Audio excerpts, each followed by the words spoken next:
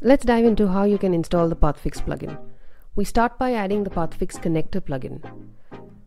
This plugin adds the visual element for all your other Pathfix plugins, so it is very crucial for you to install this first.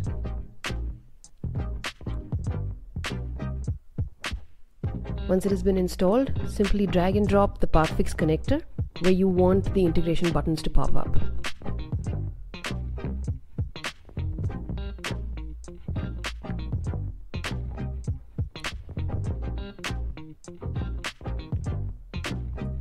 Go into preview mode.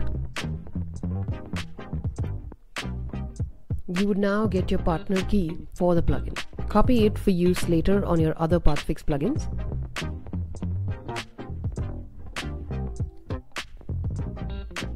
You would be able to select the appearance of which provider you want added to the visual side.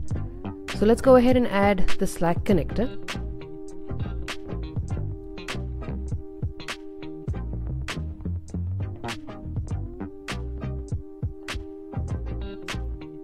Once that is done, just just paste the key that we received from the Pathfix connector design element.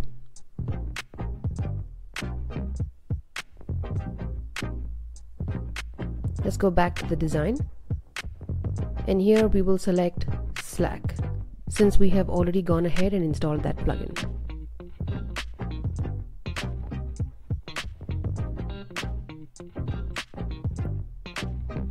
If you view the preview right now, you would see that Slack is the only element that is shown up here.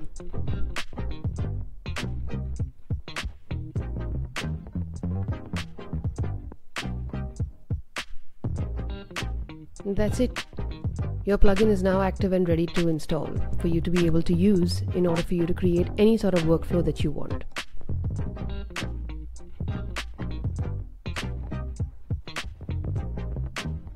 Plugin gives you access to Slack Send Message API.